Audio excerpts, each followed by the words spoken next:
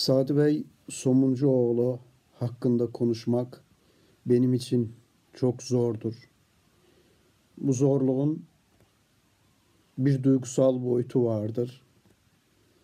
Ancak bu zorluğu sadece duygusallık ve indirerek yorumlamak mümkün değil. E, çünkü Sade Bey hayatımda gördüğüm kendine özgü bir şahsiyetti. Çok yönlü bir şahsiyetti.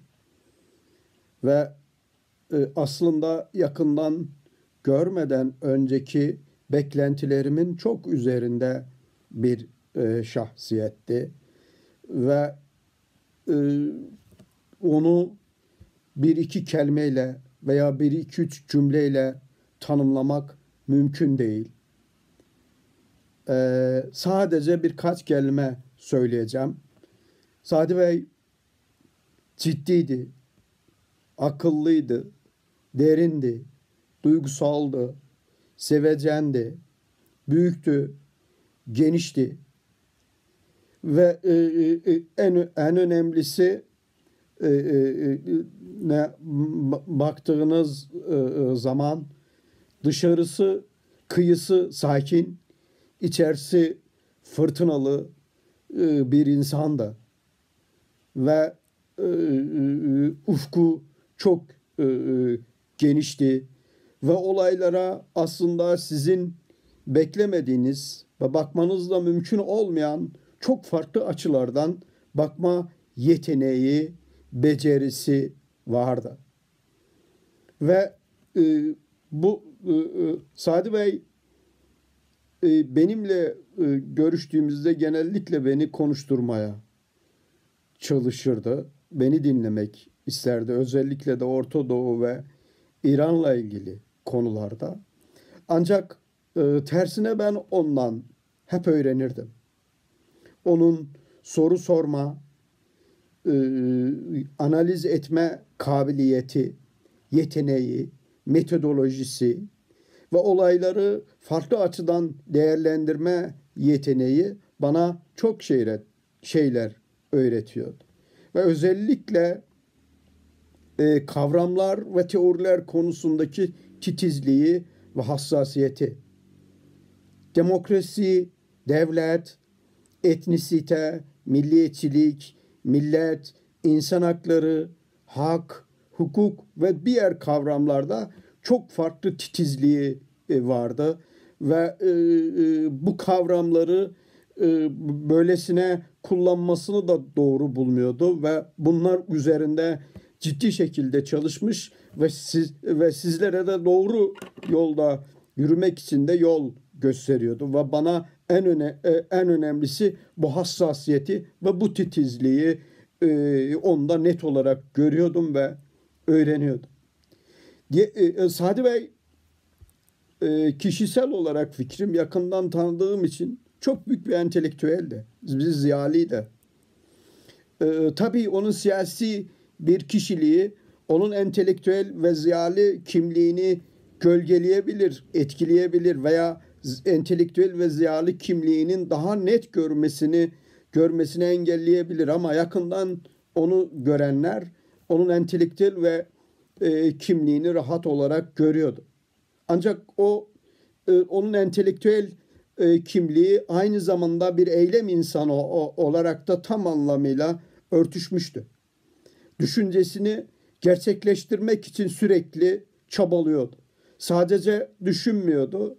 Aynı zamanda düşünüp ve sonuca vardıklarını da eyleme dönüştürüp hayata e, e, geçiriyordu ve insanlar onun hep dışarıda siyasi bir kimliğini e, e, görseler de ama siyasi kimliğin yanında ciddi bir entelektüel birikimi olan, sorgulamaları o, olan, araştırmaları e, olan bir e, şahsiyetti.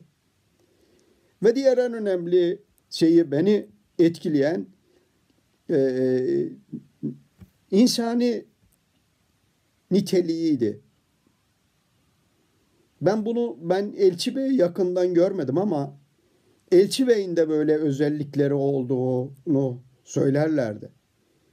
Sadi Bey kapıdan giren kim olursa olsun küçük büyük demeden, yaşına bakmadan, statüsüne bakmadan ayağa kalkar ve ona ciddi şekilde gereken e, saygıyı gösterirdi.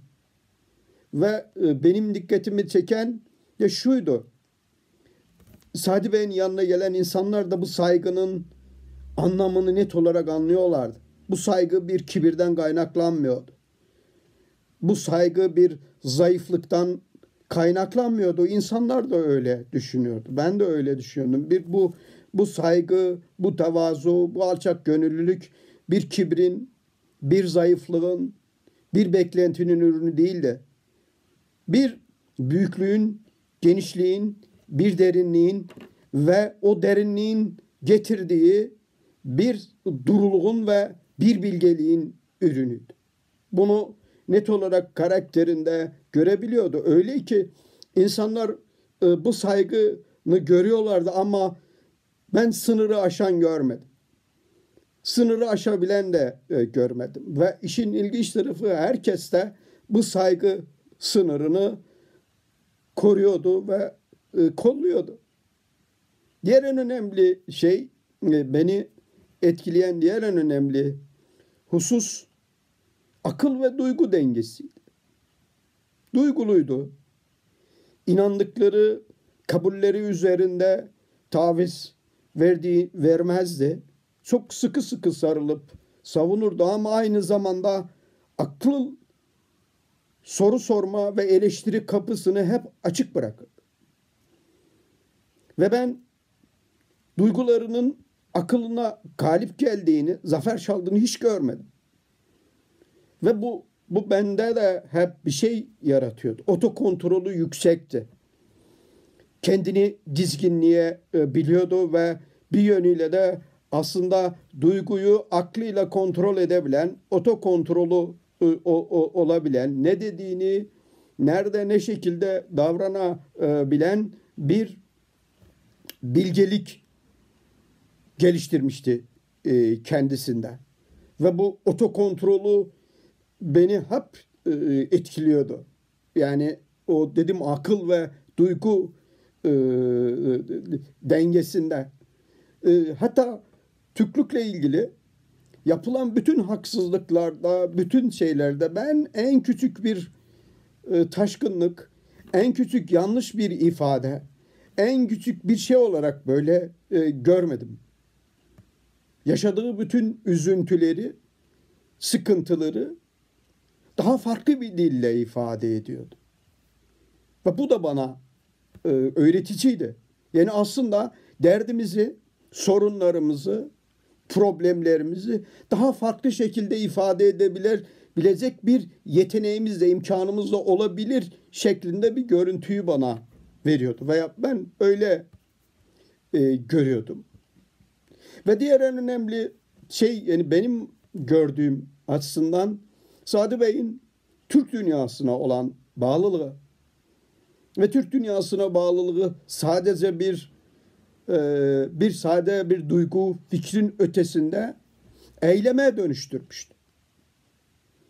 Ve bu eylemi ben defalarca tanık oldum buna.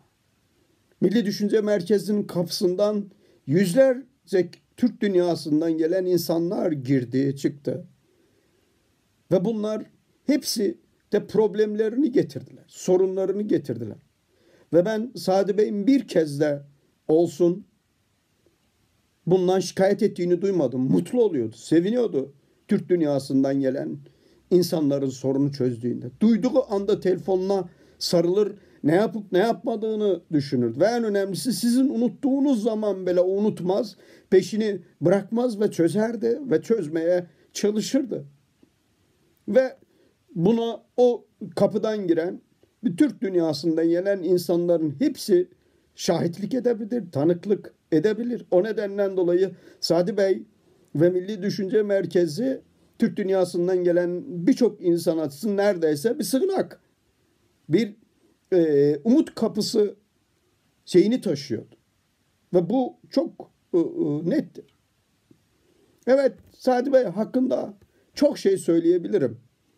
Ee, ama sınırlık nedeniyle bazı e, e, devam etmek istemiyorum ama önemli olan şudur. Bütün büyük şahs, şahsiyetler kendi dönemlerinde hak ettikleri değeri görmüyorlar, göremiyorlar. Buna hecab-ı muasiret adı verilir.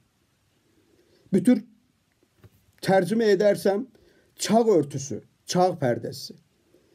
İnsanlar, büyük şahsiyetler kendi yaşadıkları e, döneminde çağın perdesi örtüsüne maruz kalıp ve gereken değerleri anlaşılmaz. Çünkü çağdaşlarının e, kıskançlığına, yanlış anlama, anlamalarına vesaire farklı şeylere maruz kalabilir insanlar. Ve, ve çeşitli e, olaylar, e, çeşitli olaylar, bilinçli, bilinçli olmayan çok farklı süreçler bir insanın e, hak ettiği değerin anlaşılmasını engelleyebilir. Bu hecab-ı muasiret, bıçak örtüsü düşündüğünden daha e, kompleks bir mekanizma.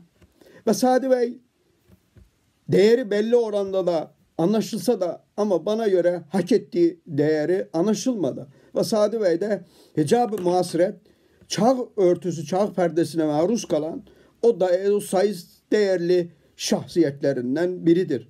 Ve bana göre zaman e, daha sonraki nesiller, gelecekteki e, e, nesil, nesiller Sadi Bey'i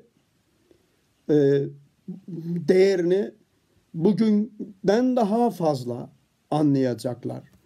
Onu ne kadar değerli olduğunu bütün bu sürecin dışında soyutlayarak görme imkanı elde edeceklerini düşünüyorum. Ve belki de böyle de arzu ediyorum.